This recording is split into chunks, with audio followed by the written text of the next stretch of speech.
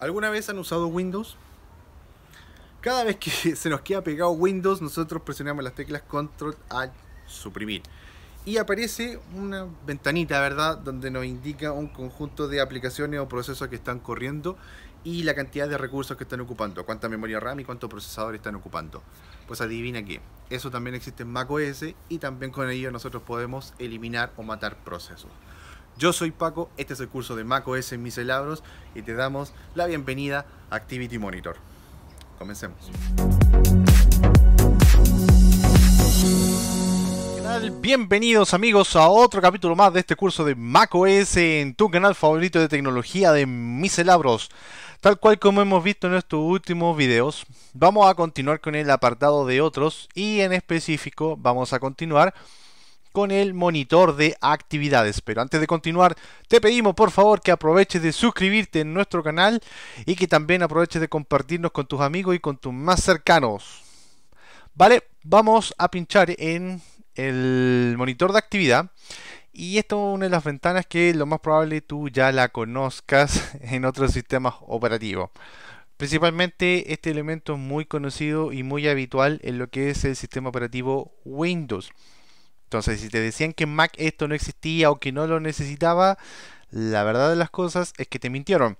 Porque todos los sistemas operativos traen justamente un monitor de actividad con el cual nosotros podemos ir revisando qué proceso en estos momentos es el que más me está consumiendo mis recursos, tanto lo, lo, que es el procesador, lo que puede llegar a ser la GPU, Recuerda que este Mac tiene una GPU interna fabricada por el mismo Intel, no es una tarjeta gráfica dedicada. El, Process ID, que en el fondo es cada uno de estos procesos que están corriendo dentro del Mac, tienen un número de identificación para que en el caso puntual de que alguno de estos procesos esté con algún problema, con algún defecto, tú aquí sepas eh, identificar claramente quién es el proceso que te está dando problemas para así finalmente darlo de baja o forzar su salida. ¿Vale? Aquí podemos ver distintos eh, apartados, perdón. Por un lado podemos ver aquí el uso del procesador de la central de proceso unitario. Em, cómo está siendo ocupado lo que es la memoria. Estamos hablando principalmente aquí de la memoria RAM, no del disco duro, porque para eso está otro apartado. Las opciones de energía, ¿qué aplicaciones en estos momentos son las que están gastando de mayor cantidad de energía? Tras un promedio en las últimas 12 horas de, poder, ¿cuánto han sido las que más impacto energético te han ido generando?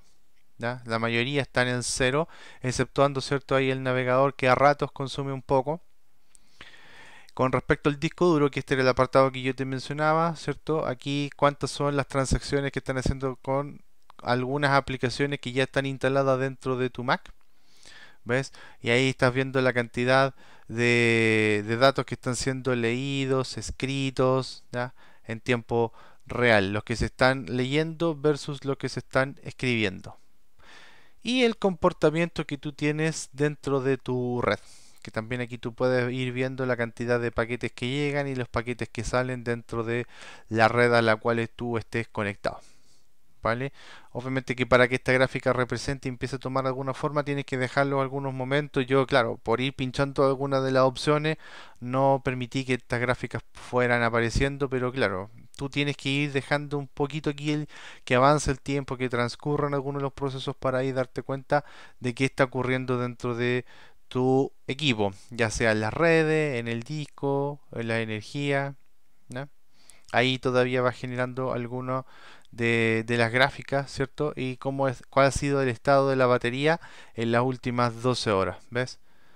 Tiempo conectada a, la energía eléctrica durante esta semana, 142 eh, horas, ¿ya? Memoria, lo mismo. ¿Vale? Ahora, puntualmente, si nosotros queremos información con respecto a alguno de los procesos que están ejecutándose, proceso principalmente nos llamamos a alguna aplicación o eventualmente algún eh, archivo tipo software, alguna extensión, algún software o aplicación pequeña que permite el funcionamiento de otras cosas para eh, el funcionamiento de una aplicación principal. Por ejemplo, Firefox eh, CP Web Content es un documento, o sea, perdón, es un proceso que brinda soporte a Firefox para su normal continuidad. Entonces, em, podemos ver que hay algunos elementos que aquí dan soporte. Por ejemplo, Safari, Cloud History, Push Agent.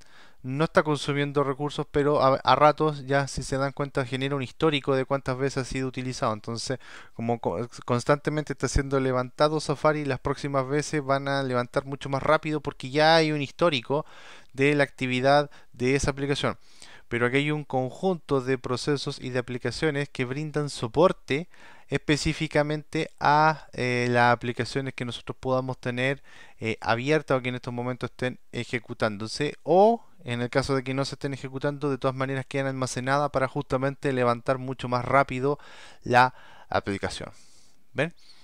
entonces por ejemplo si yo pincho aquí en Activity Monitor en la en la IL perdón, de information puedo ir viendo que en la ubicación donde está cierto eh, la raíz del proceso el, el grupo al cual pertenece esta aplicación el porcentaje de CPU que me estaba ocupando el momento eh, en tiempo real el usuario quien lo está usando quien lo está activando y puedo ir viendo por ejemplo el espacio en memoria en memoria real son 168 casi 170 megabytes que está ocupando en memoria virtual está ocupando ya un poquito más cercano a los 5 gigabytes eh, porque eventualmente está almacenando toda esta información dentro del sistema eh, memoria compartida entre otros ejemplos. Podemos ir viendo las estadísticas el tiempo en CPU el tiempo de reloj eh, cuántos archivos y puertos abiertos en estos momentos tiene abierta esta aplicación. Bien, acá en Sample podemos pinchar aquí algún ejemplo. Ahí está dándole un pantallazo a lo que es el sistema, ¿verdad?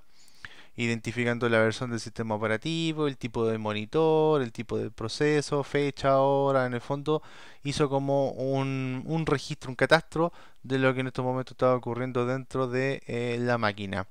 Esto yo aquí lo puedo trabajar, ¿cierto? Como un archivo de texto plano y, e ir generando, ¿cierto? Un histórico del comportamiento de mi computador. Ojo, cuidado aquí que yo al momento de decirle quit voy a no solamente cerrar esta ventanita de acá, sino que en el fondo también voy a cerrar a toda la aplicación.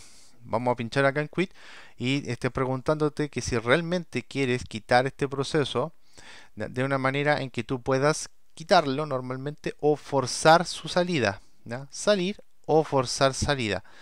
Esta opción se ocupa por lo general cuando algún proceso colapsó, quedó atascado, no permite que el computador siga fluyendo y por lo general te aparece esa paletita de dulce con muchos colores. Cuando eso te ocurre es porque está ocupando mayor cantidad del procesador y eventualmente está generando algún trabajo.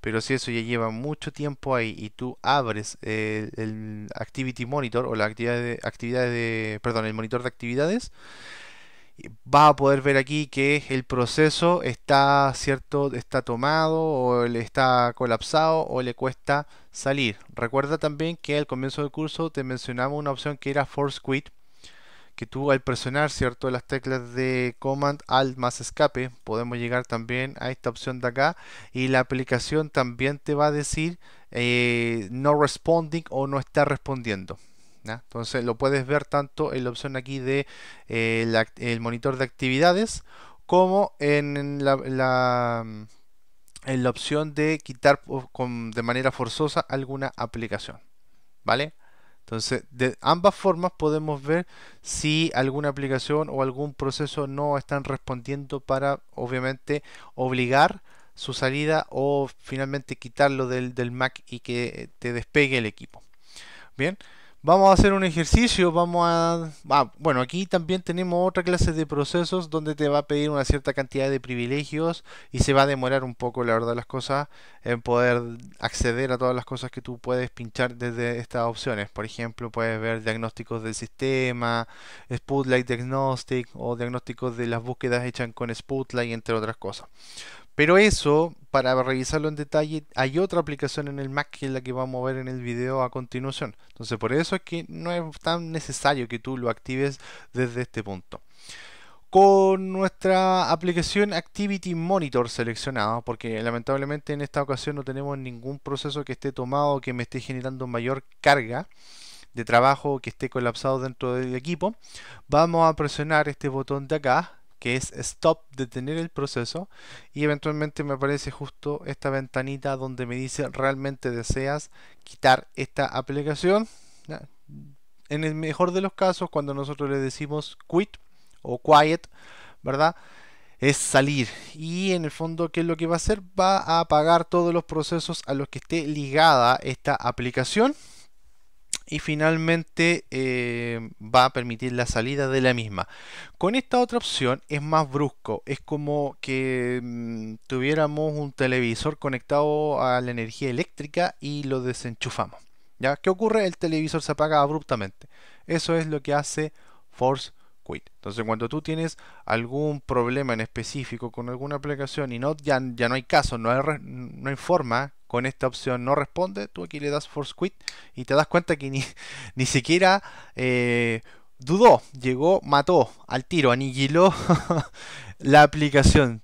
Em, eventualmente, por ejemplo, si esto llega a pasar con Word, con PowerPoint, está más que seguro de que si tú no guardaste una última vez, eh, todo eso se perdió. De todas maneras, eso puede quedar en alguna memoria volátil si tú vuelves a abrir la aplicación. Pero si te ocurrió la desgracia de que te hayan quedado eh, pegadas estas aplicaciones y tuviste que verte la obligación de forzar su salida, em, lo más probable, amigo y amiga, es que hayas perdido tu información. Lamento decírtelo. Bien, hasta aquí dejamos este capítulo del curso de macOS con respecto al monitor de actividades. Esperamos que te haya gustado, que te haya aclarado las ideas con respecto a esta gran aplicación que te va a ayudar en más de algún momento dentro de tu sistema operativo Mac.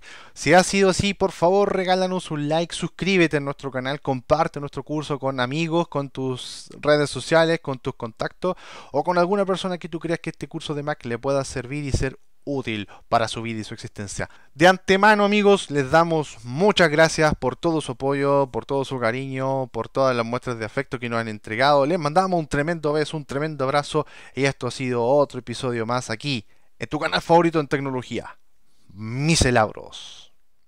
¿Qué les pareció esta aplicación? La verdad es que muchos la desconocían y no conocían la opción de que tú realmente puedes ver cuánto procesador está ocupando, cuánta memoria RAM está utilizando alguna aplicación y aunque ustedes no lo crean, también hay aplicaciones que colapsan o se pegan en macOS.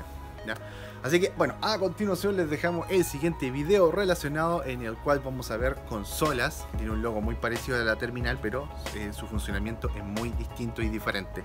Recuerda que acá siempre les dejamos el botón para que se suscriban a nuestro canal y algún contenido que también pueda ser de su agrado. Como siempre, un beso, un abrazo, se nos cuidan y nos vemos en el siguiente video. Chao, chao.